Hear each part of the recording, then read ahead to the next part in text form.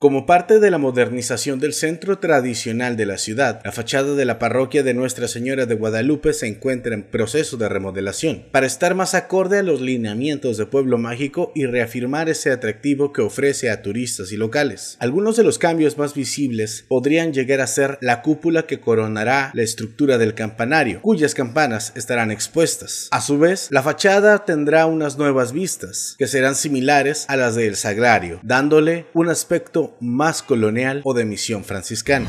Pues responde a la necesidad de adecuar un poco la, impresión que da nuestro templo a la ciudad, al visitante y a los mismos feligreses que asisten regularmente a este lugar.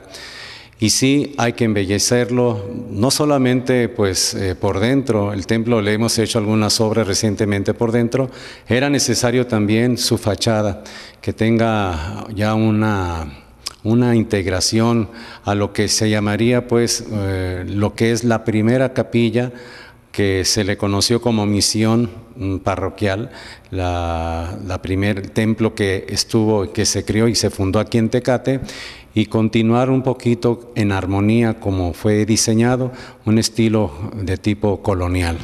El sacerdote Francisco Monarres, párroco de la iglesia de Nuestra Señora de Guadalupe, dijo que estos trabajos se extenderán hasta finales de años, por lo que pidió comprensión de los feligreses, asegurando que al final tendrán una iglesia renovada. Creemos que las obras durarán entre unos cinco o seis meses, eh, considerando de que lo más difícil va a ser la torre. La torre van a destacar ahora, por ejemplo, ahorita no se ven las campanas. Ahora en el nuevo diseño se van a notar las campanas de su torre. Va a tener una, eh, no tiene fin, no tiene cabeza, se puede decir, va a tener una cúpula, por ejemplo. Y como es una torre bastante elevada, mm, hace difícil que mm, esta obra se lleve a cabo, ¿no? Pero por lo tanto va a implicar un buen tiempo. Por último, comentó que estos trabajos no afectarán con las misas. Los feligreses podrán ingresar por el área del estacionamiento o la puerta lateral, y los fines de semana se buscará utilizar las puertas principales de este edificio. Vamos a continuar con todos los servicios que ofrece nuestro templo, desde las santas misas, celebraciones como bodas, bautismos, quinceañeras, todo se va a llevar a cabo.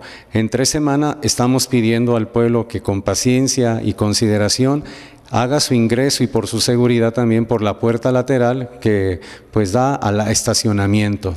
Y en fin de semana, que es cuando tenemos mucha más demanda de celebraciones, eh, daremos espacio seguramente para que usted pueda entrar, ingresar por la puerta frontal.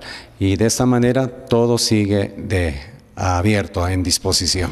Para California Medios, con edición de Abril Cerratos, Javier Cruz.